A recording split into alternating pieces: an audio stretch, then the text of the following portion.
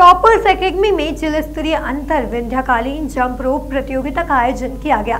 कार्यक्रम संयोजक राहुल पांड्या ने बताया कि इस आयोजन में तेरह स्कूलों के विभिन्न खिलाड़ियों ने भाग लिया है। जिनका चयन 21 से 24 फरवरी को शेरी में होने वाले राष्ट्रीय जंप प्रतियोगिता के लिए किया गया। अंतर्राष्ट्रीय जंप रोप खिलाड़ी Saumya Agrawal, jump rope coach Mukund Jhala और विशेष रूप से बीएसएनएल के पूर्व कर्मचारी रमेश चंद्र नीमा का शॉल एवं श्रीफल देकर सम्मान किया गया। इस अवसर पर अतिथि के रूप में श्री राम सिंह जाट, संस्था अध्यक्ष प्रेम सिंह चावड़ा, एकेडमिक डायरेक्टर नीलिमा रानी बैस, प्राचार्य प्रवीण समाधिया गोपाल राठौर, विक्रम परमार, अजय नीमा, पूर्वा झाला के साथ साथ बच्चे एवं स्टाफ मौजूद था। बच्चों द्वारा जंप रोप का म्यूजिकल डेमो भी प्रस्तुत किया गया, जिसे दर्शकों ने खूब सराहा।